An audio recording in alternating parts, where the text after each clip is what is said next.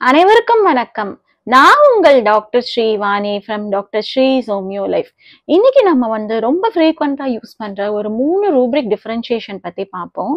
Adulteress play desire for gambling அப்புறம் பார்த்தோம்னா taste everything so adulterous அப்படிங்கிற rubric வந்து நம்ம எங்கெல்லாம் யூஸ் பண்ணலாம் அப்படின்னு பார்த்தோம்னா இப்போ சில பேஷண்ட் பார்ப்பாங்க பாருங்கன்னா ஃபீவரோ இல்லை ஏதாவது ஒரு ஹெல்த் கண்டிஷன் வந்தாலும் எல்லாமே அதாவது கஷாயம் சாப்பிடுவாங்க ஆயுர்வேதிக் மெடிசனும் எடுத்துப்பாங்க அலோபதி மெடிசனும் எடுப்பாங்க அண்ட் நம்மகிட்ட ஹோமியோபதி மெடிசன்ஸுமே கேட்பாங்க.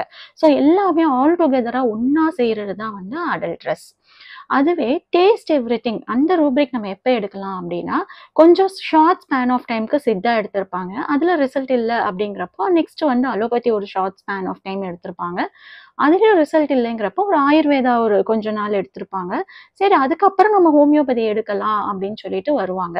ஸோ அதுலேயாச்சும் நமக்கு சரியாகுமோ அப்படின்னு சொல்லிட்டு அதுதான் வந்து டேஸ்ட் எவ்ரி திங் அதே மாதிரி ப்ளே டிசையர் ஃபார் கேம்லிங் அந்த ரூப்ரிக் எப்போ எடுக்கலாம் அப்படின்னா எங்கள் பக்கத்து வீட்டுக்காரங்க சரியாச்சும் சொன்னாங்க. அதுதான் நானும் ஹோமியோபதி ஜஸ்ட் ட்ரை பண்ணலான்னு இருந்தேன் அப்படின்னு சொல்லி நம்ம கிட்ட வருவாங்க.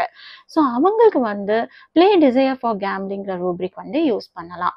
ஸோ இந்த மூணு ரூப்ரிக்குமே பார்த்தோம்னா ஒரு மைனர் டிஃப்ரென்ஸ் தான்.